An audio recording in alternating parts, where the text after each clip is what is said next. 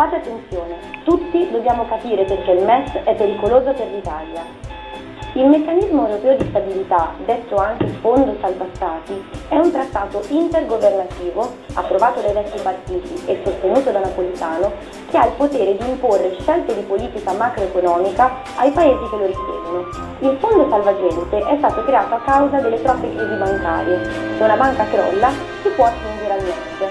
Ammonta a 700 miliardi e ogni paese membro ha diritto a una parte di questo.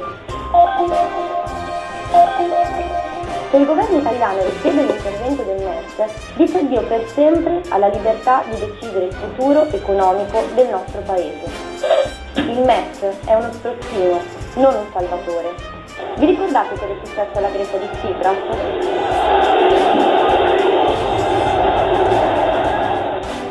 Chiedere soldi al fondo salva stati significa essere governati dalla Troika.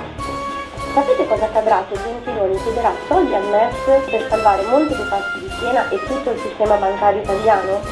Per prima cosa, nessun futuro governo eletto avrà libertà di scelta. Poi, non esisterà più la possibilità di avere un reddito di cittadinanza.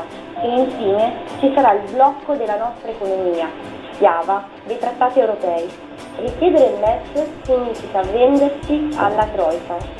Non facciamo del male all'Italia.